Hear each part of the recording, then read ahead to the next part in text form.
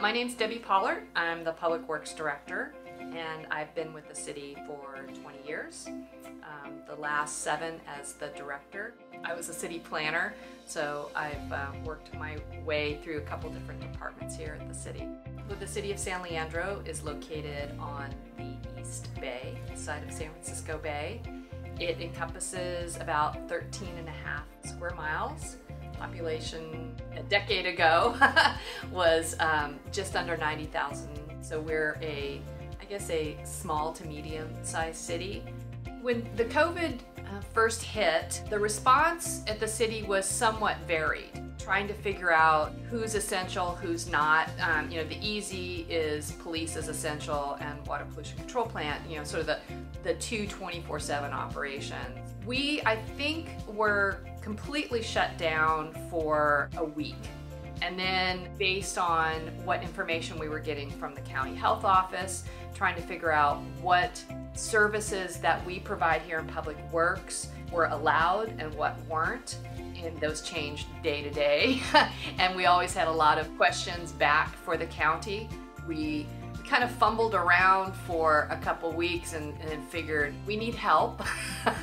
and that's that's when we that's when we called FACS because we realized we needed to have a plan in place first for um, addressing how staff was going to come back before we could even open in any of our buildings. So that's where we are right now. I have had a great time working with the FACS staff because it's been a very collaborative and organic process. I th thought it was refreshing that they even admitted themselves, you know, this is changing daily and you, you know, they're having to keep on top of things and uh, just the ability to exchange information and tailor um, the safety program to, to us has been a, a very good working relationship. The color coding, I think, came up, um, that they came up with is very good because not everybody is a word person. Some people are visual.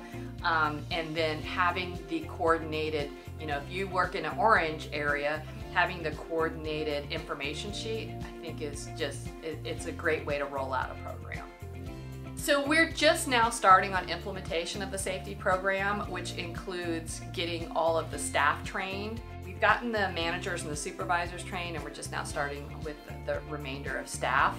The delivery method is working well, having it web-based so everybody, whether they're teleworking from home or at their desk, they can participate in the training and we're making all of the documents available on a common drive for, for staff can go um, have access to all of the documents at any time.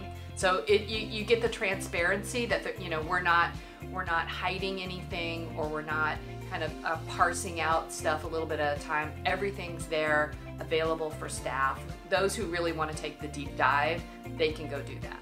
The plan, I would say, has been very easy to follow. Madeline and David have been great to work with in terms of, you know, reviewing the draft documents and asking questions like, what did you mean by that?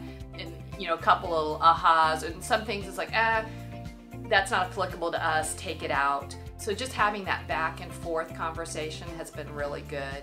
I would absolutely encourage people to, to have this program done, especially me, even though I'm a public works director. Uh, this is not my subject matter expertise. Just being able to call up Madeline and say, this is the problem, can you, can you address it please, has been immensely helpful so that I can convey to staff.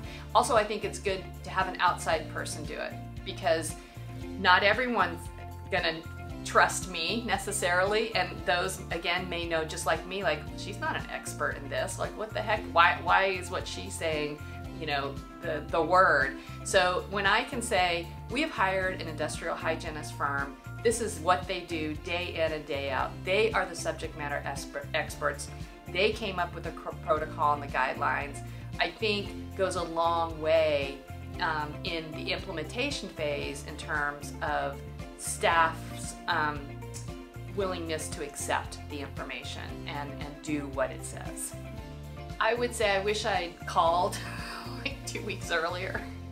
Uh, because we really, the first couple of weeks, we were all just kind of like walking around in a fog. And again, because this is not anybody's day to day area of of what they do. We were at a staff meeting and and we were kind of lamenting like, well, when are we going to open back up and how are we going to do this? And so I kind of like raised my hand and I said like, I'll go hire the industrial hygienist because I knew that we needed to have that done, have the buildings assessed first, um, and come up with a return to work plan before, or else we were just going to be floundering forever.